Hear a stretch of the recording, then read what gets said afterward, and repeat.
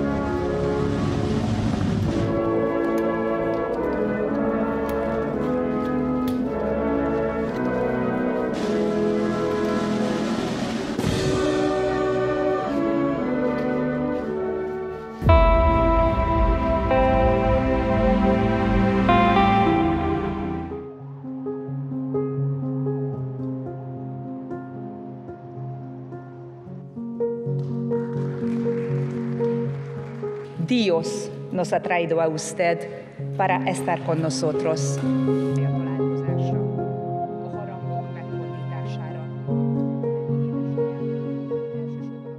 La pace mondiale non potrà essere salvaguardata se non con sforzi creativi proporzionali ai pericoli che la minacciano.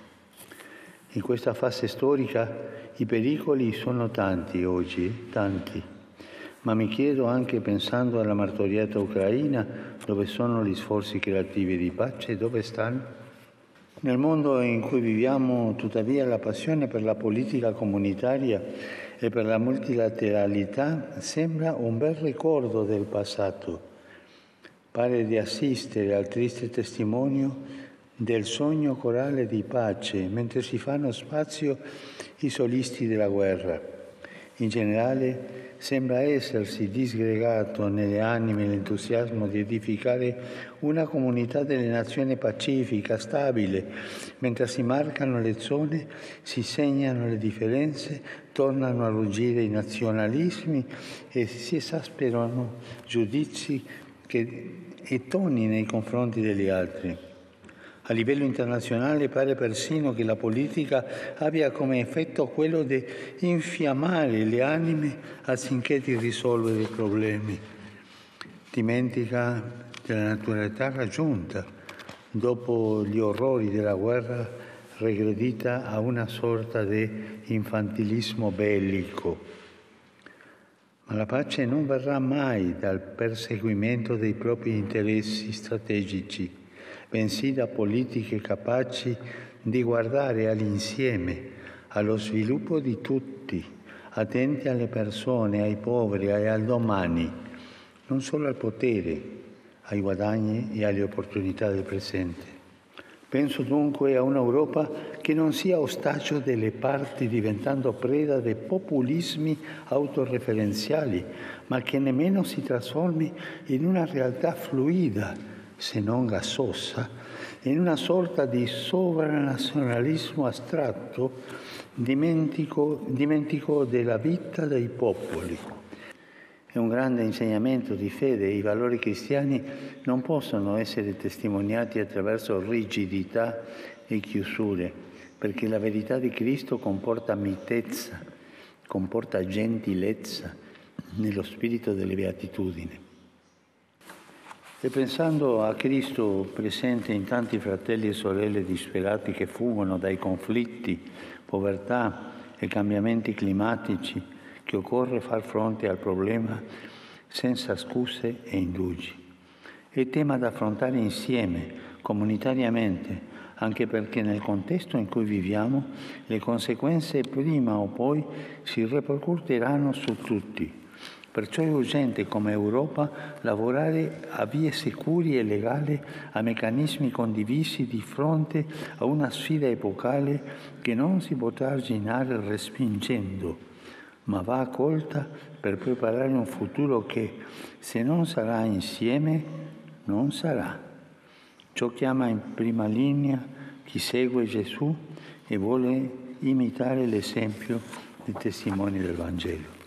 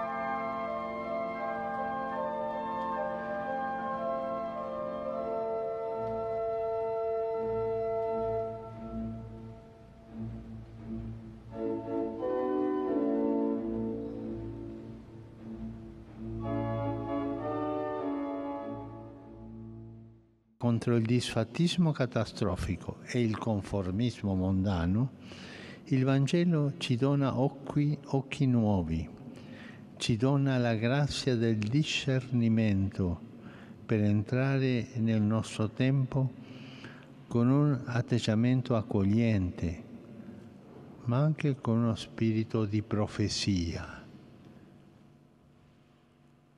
Quindi con accoglienza aperta alla profezia.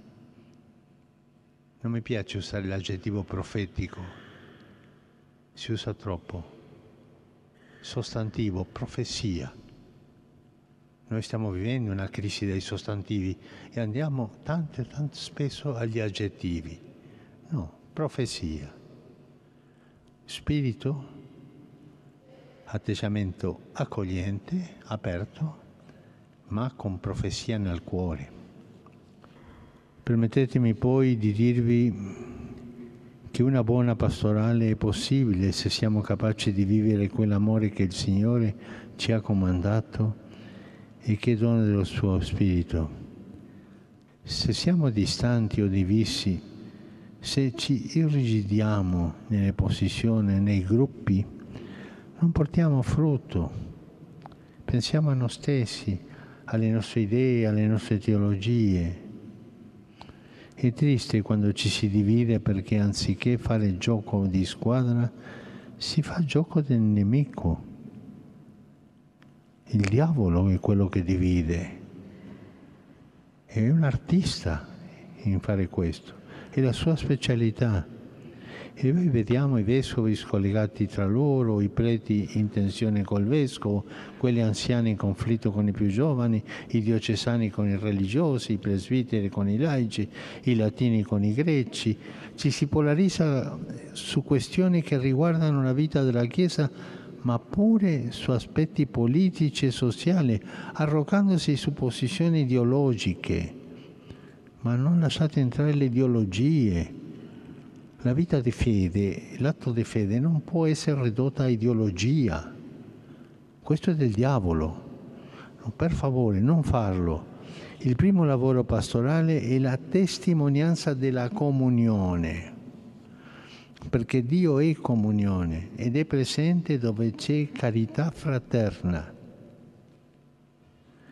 Superiamo le divisioni umane per lavorare insieme nella vigna del Signore immergiamoci nello spirito del Vangelo, radichiamoci nella preghiera, specialmente nell'adorazione e nell'ascolto della parola di Dio. Coltiviamo la formazione permanente, la fraternità, la vicinanza e l'attenzione agli altri.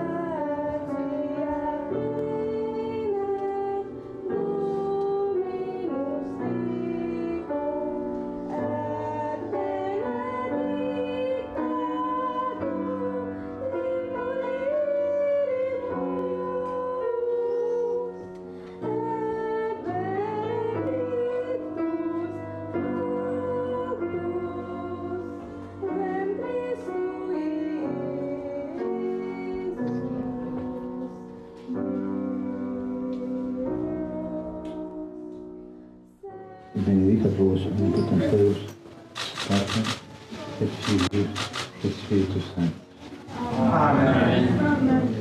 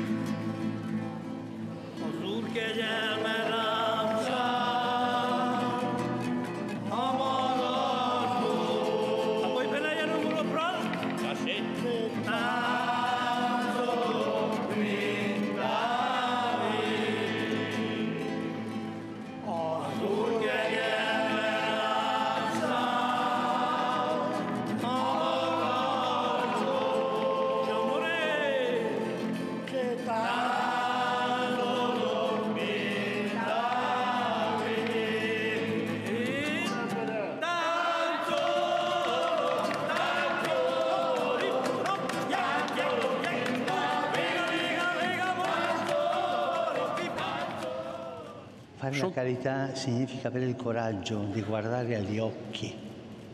Tu non puoi aiutare un altro guardando da un'altra parte. Per fare la carità ci vuole il coraggio di toccare. Tu non puoi buttare le elemosine a distanza senza toccare. Toccare e guardare. E così tu, toccando, guardando, incomincia un cammino, un cammino con quella persona bisognosa che ti farà capire quanto bisognoso, quanta bisognosa sei tu dello sguardo e della mano del Signore. Una sfida appassionante perché la fede che professiamo non sia prigioniera di un culto distante dalla vita e non diventi preda di una sorta di egoismo spirituale, cioè di una spiritualità che mi costruisco a misura della mia tranquillità interiore e della mia soddisfazione. Questa è la testimonianza che ci è richiesta, la compassione verso tutti, specialmente verso coloro che sono segnati dalla povertà, dalla malattia e dal dolore. Compassione, che vuol dire patire con. Abbiamo bisogno di una Chiesa che parli fluentemente il linguaggio della carità, idioma universale che tutti ascoltano e comprendono, anche i più lontani, anche coloro che non credono. E a questo proposito esprimo la mia gratitudine alla Chiesa ungherese per l'impegno profuso nella carità, un impegno capillare. E l'amore che Gesù ci dona e che comanda di vivere contribuisce allora a estirpare dalla società, dalle città e dai luoghi in cui viviamo il male dell'indifferenza. È una peste l'indifferenza, il male dell'egoismo e riaccende la speranza di un'umanità nuova, più giusta, fraterna, dove tutti possano sentirsi a casa.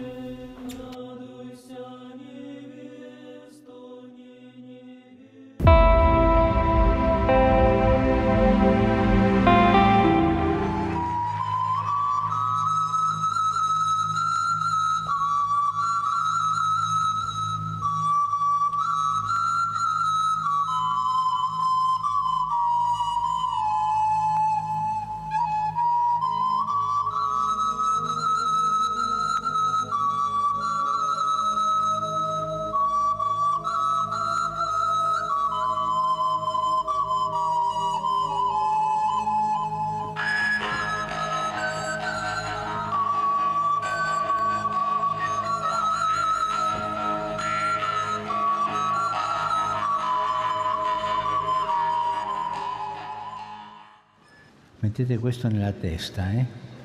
Dio non vuole condannare, ma perdonare. Mettete questo nella testa, Dio perdona sempre.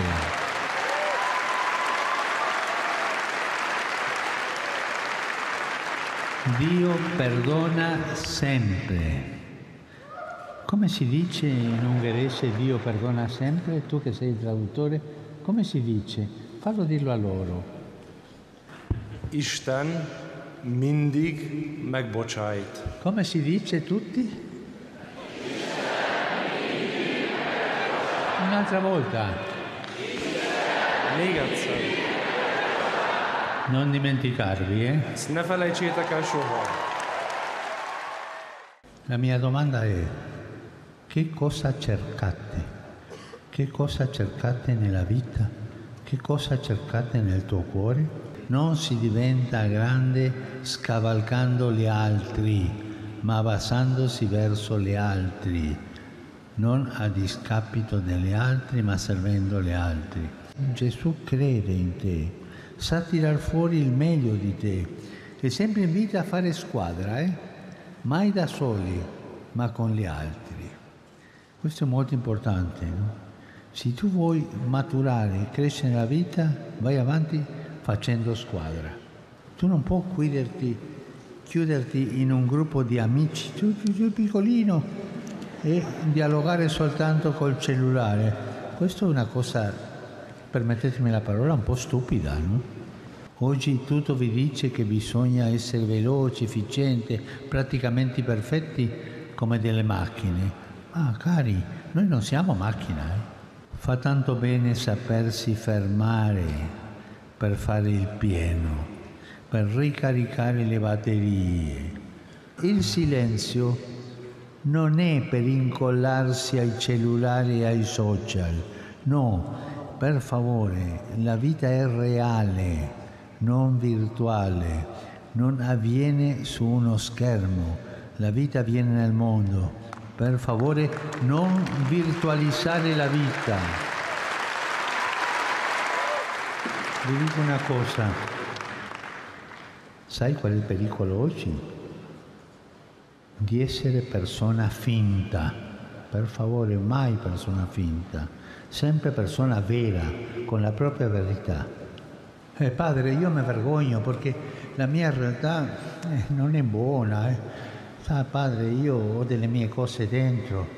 Guarda avanti il Signore, abbi coraggio.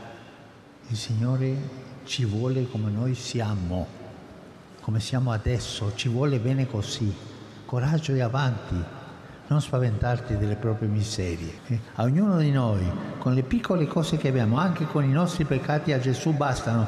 Noi cosa dobbiamo fare? Lasciarlo nelle mani di Gesù e con questo basta.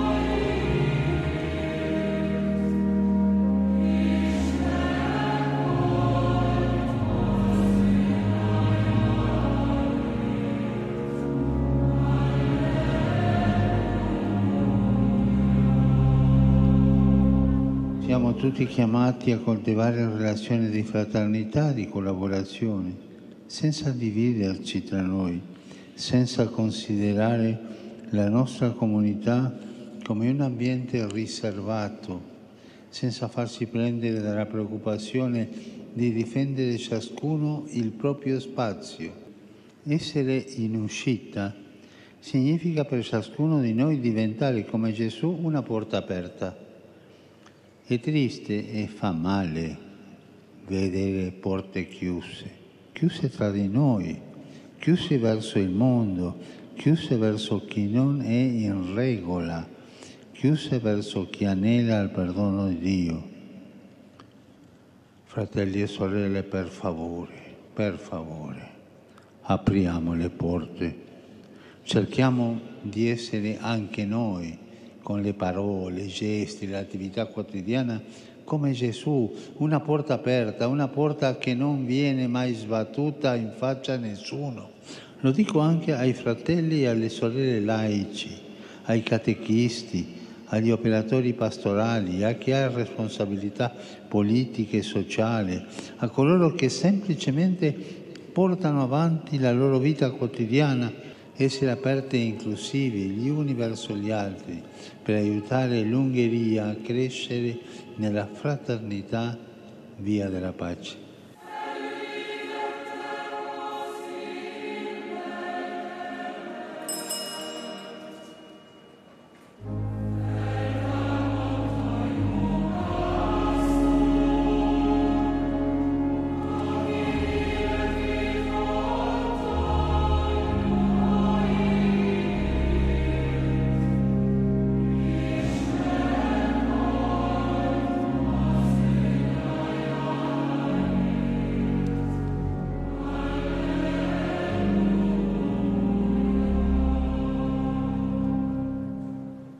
È bello che i confini non rappresentano frontiere che separano ma zone di contatto e che i credenti in Cristo mettano al primo posto la carità che unisce e non le differenze storiche, culturali e religiose che dividono. Ci rivolgiamo ora alla Madonna, a lei, Magna Domina Ungarorum, che invocate come regina e patrona affido tutti gli ungheresi.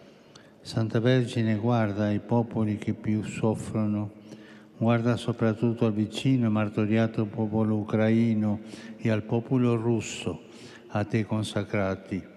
Tu sei la regina della pace, infondi nei cuori degli uomini e dei responsabili delle nazioni il desiderio di costruire la pace, di dare alle giovani generazioni un futuro di speranza non di guerra, un avvenire pieno di culle, non di tombe, un mondo di fratelli, non di muri.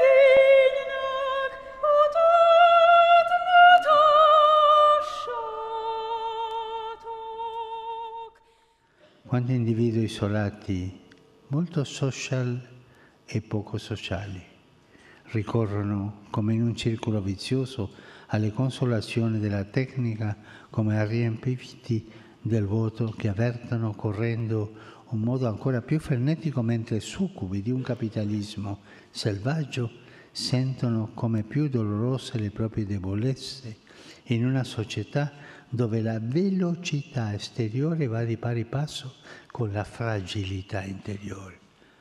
Ovunque si predica un nuovo umanitarismo che annulla le differenze, azzerando le vite dei popoli abole- e abolendo le religioni, abolendo le differenze, tutte. Ideologie opposte convergono in una omologizzazione che colonizza ideologicamente. Questo è il dramma, la colonizzazione ideologica. L'uomo a contatto con le macchine si appiattisce sempre di più mentre il vivere comune diventa triste e rarefatto. L'Ungheria ha visto il susseguirsi di ideologie che si imponevano come verità, ma non davano libertà. E anche oggi il rischio non è scomparso. Penso al passaggio dal comunismo al consumismo. Ad accomunare entrambi gli ismi c'è una falsa idea di libertà. Quella del comunismo è una libertà costretta, limitata da fuori, decisa da qualcun altro. Quella del consumismo è una libertà libertina, una libertà edonista, appiattita su di sé, che rende schiavi dei consumi e delle cose.